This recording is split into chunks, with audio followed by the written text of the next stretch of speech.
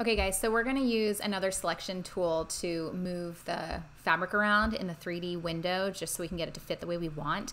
Um, this particular file, for example, has a belt and we're gonna try to loop the belt through the armholes. Um, our arrangement points aren't doing it for us, so we're gonna have to manually get in there and put it where we want it to be.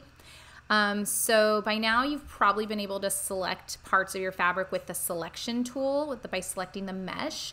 Um, this time we're gonna put pins in it. So the pins can like defy gravity and just float in the air. And um, so that's kind of helpful. Um, so the pin, so just be careful. Sometimes when I look really quickly, I'm like, oh, here's a pin, but it's not. It's a tack and it does something else, kind of like glues pieces together. It's not really a selection tool, so avoid that one. I'm just letting you guys know, giving you a heads up because I've seen beginner students um, be fooled. So it's kind of like a selection tool, the pin box. So if you, it's hidden under our selection tool. So I'm gonna click and drag, I'm holding out the menu and there we go.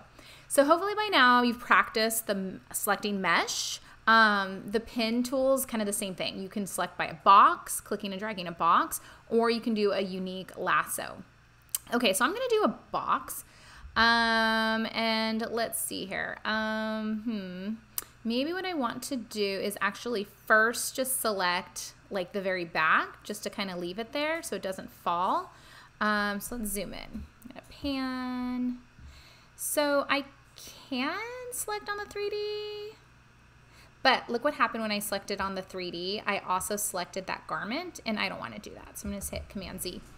Um, so what I could do is I could use my regular selection tool and just kind of click on the belt so you kind of get a rough idea of where it is on your pattern. And then now I can go in with my pin box and then just kind of select all that mesh right there. Okay, so there's pins there. So when I hit simulate, they're gonna stay floating. It's not gonna fall, which I think is good. Um, okay, so I wanna do the same for the edges. I'm gonna pick you, and I'm also gonna pick you. Okay, cool, so we got some pins in there. Um, okay, I'm gonna hit number two.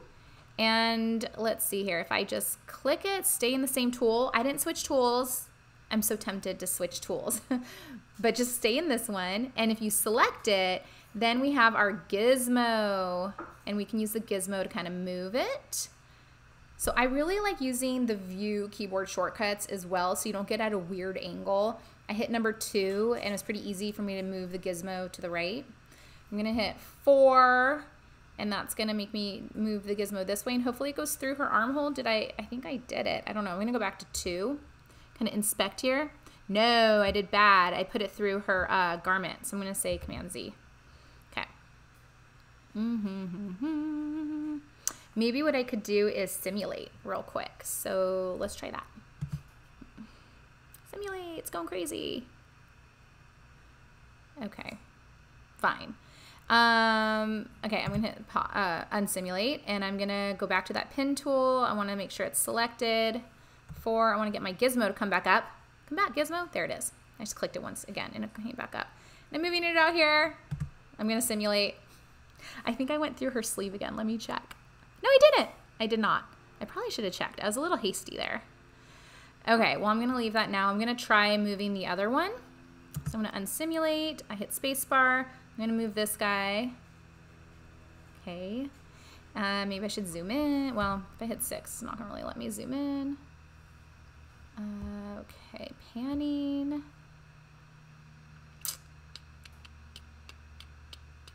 Hmm. Okay. Dun, dun, dun. I'm gonna try to move it this way. So this is really good practice if you're kind of new to just navigating and panning. I went through her fabric. Command Z. Don't know why I keep doing that. Oh, okay, I'm gonna hit simulate. I think I just have too much stuff over there. Okay, unsimulate. Select this guy again. I'm gonna hit eight. Let's zoom in here. Hmm. Okay, maybe there's too many pins selected. I don't know. I'm gonna kind of go for it. Let's see. Maybe if I go up a little bit. There we are.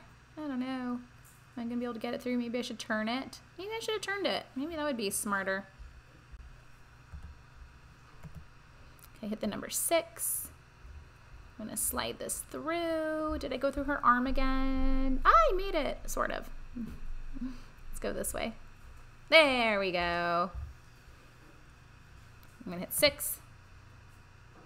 Pull it more. Come on, buddy. There we go.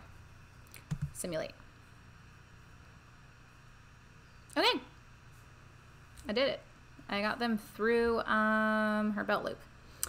Okay, so I'm gonna hit six. I'm gonna hit spacebar to simulate. Now I wanna move these back guys. Let's move it a little closer to her back is all. Maybe a little higher.